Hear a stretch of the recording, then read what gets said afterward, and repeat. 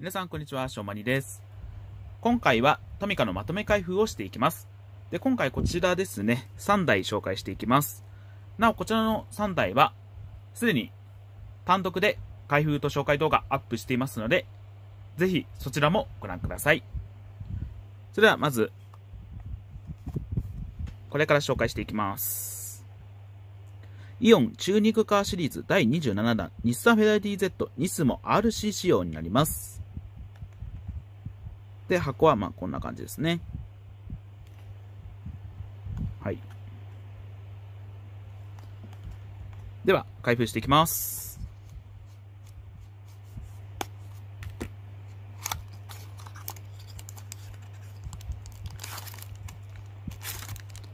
はい。お、シールが入って、入ってました。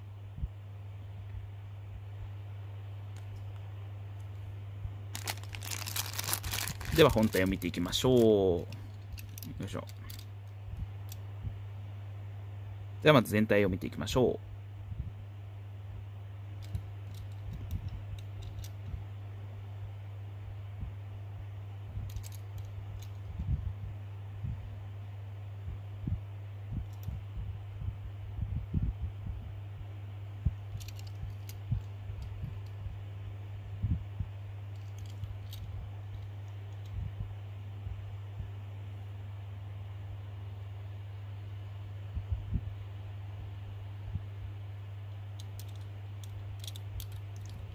で、サスペンションしっかり効いてますね。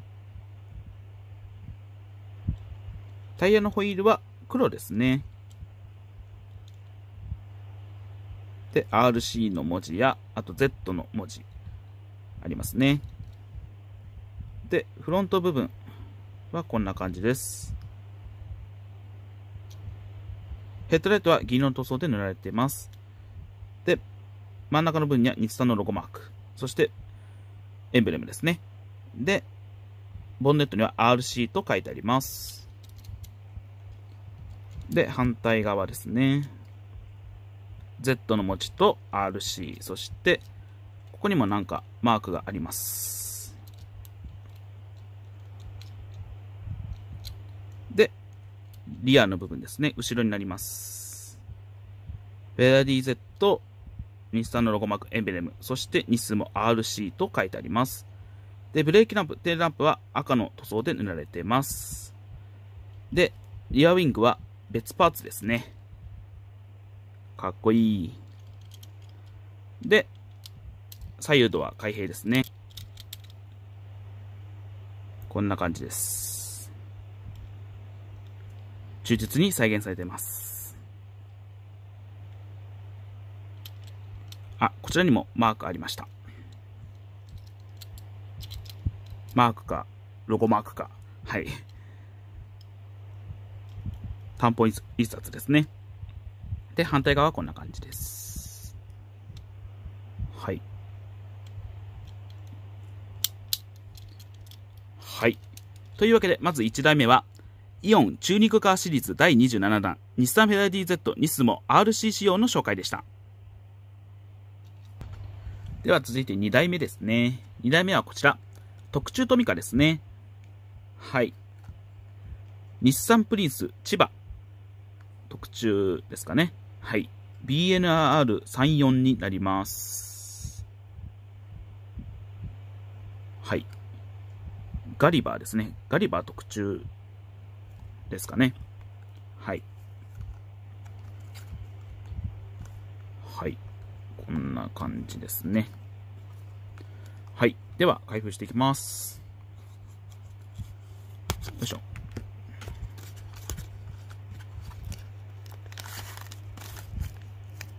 はい。あ、こちらもシールが入ってました。こんな感じですね。はい。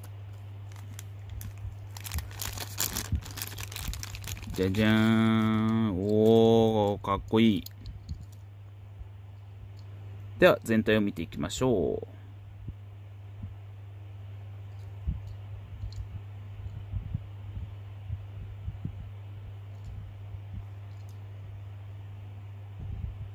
すべて担保印刷ですね。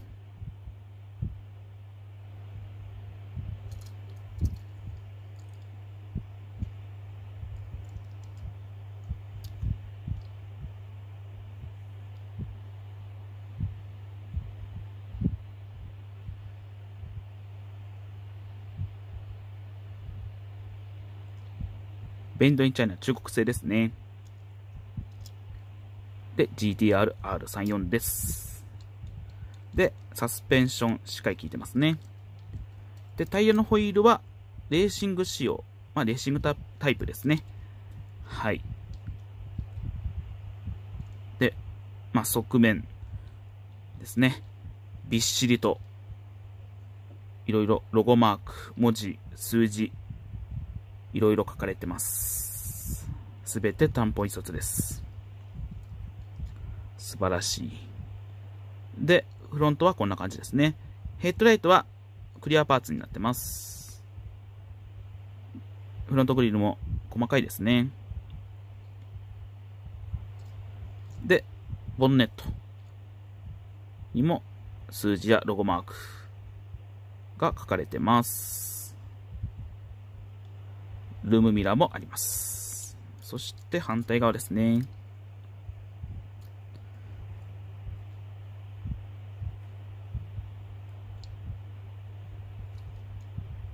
で、後ろですね。リアの部分になります。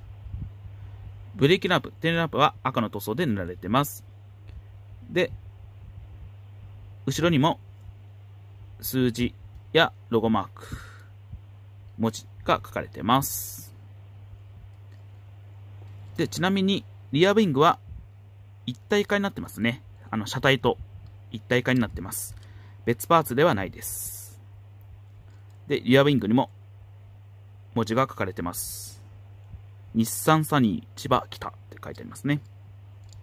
で、屋根の部分にも書いてありますね。で、アクションギミックですね。サスペンションと、あとサイドは開閉です。はい。こんな感じで。シートは、3つあんのかな？まず運転席に1つと、あと後ろのとこにも、おそらくこれシートなのかな？どうなんだろうあ、シートじゃないのかな？あ、シートじゃなさそうですね。ってことは1個だけシートは1個だけですかね。すいません。先ほどは3つって言ったんですけども、どうやら1つだけですね。はい。で、ハンドルやギアもあります。反対側からもちょっと見てみましょう。はい、こんな感じです。はい。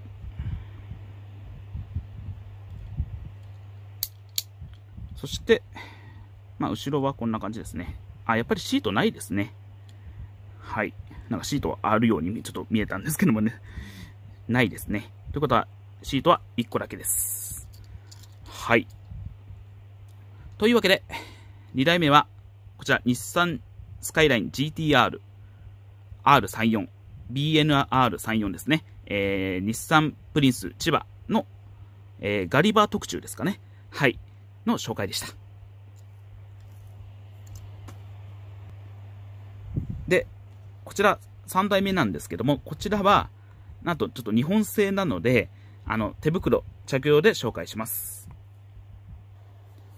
はい。というわけで、手袋しました。はい。で、こちらはですね、3代目なんですけども、箱は真っ白です。何も書かれてない。ですが、こちら、特注ですね。はい。よいしょ。取り出していきます。よいしょ。こちらシールはないですね。よいしょ。はい、こちらになります。はい。こちらに、メイドインジャパン、日本製ですね。はい。で、車種は日産サニー1200クーペレーシングになります。はい。では、まず全体を見ていきましょう。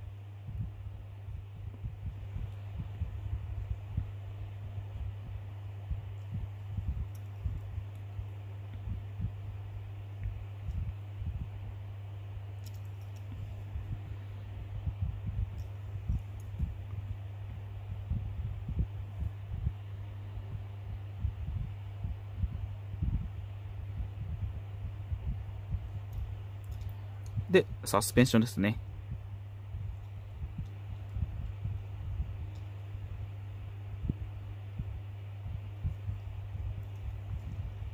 まあ、優しく押してます。はい。サスペンションしっかり効いてます。で、こちらにはサニー GX と書いてありますね。ここもリアルですね。このデザイン。で、ちゃんとドアノブもあります。はい。で、フロントはこんな感じですね。ヘッドライトとフロントグリルは一体化になってますね。銀の別パーツになってますね。で、はめ込み式になってます。はい。おそらくそうですね。はめ込み式だと思います。で、こちらにはエンブレム、ロゴマークありますね。おそらくサニーの S っていうロゴマークですかね。はい。で、ボンネットはこんな感じ。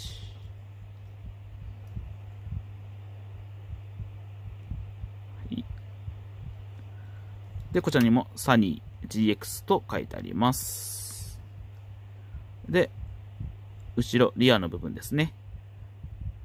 ブレーキランプ、テールランプは色分けされてないですね。で、後ろの真ん中の部分にも、エンブレム、ロゴマークあります。あの、サニーの S っていうマークですね。はい。ここは銀、銀になってますね。あ、これ、これと繋がってるんですね。下の部分と、下の部分と繋がってるんですね。このシャーシーの部分ですね。はい。で、フロントの下の部分はこんな感じ。はい、こちらもおそらくシャーシーと一体化になっている部分ですね。まあ、バンパーですね。はい。で、左右ドア開閉ですね。よいしょ。はい。内装はこんな感じです。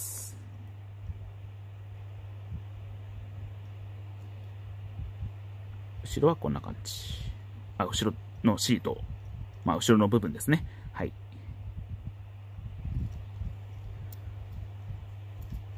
反対側からも見てみましょ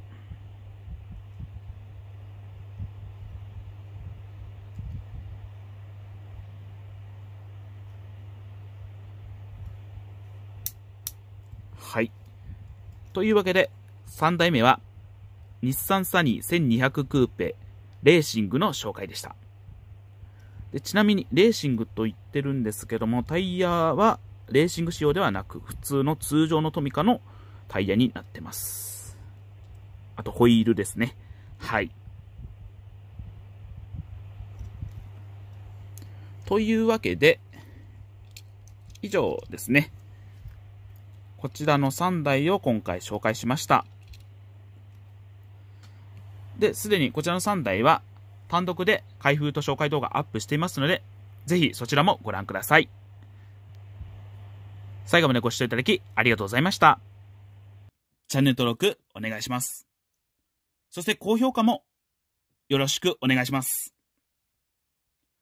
これからもショーマニをよろしくお願いいたします。それではまた次回の動画でお会いしましょう。ご視聴いただきありがとうございました。それでは失礼します。さよなら。バイバイ。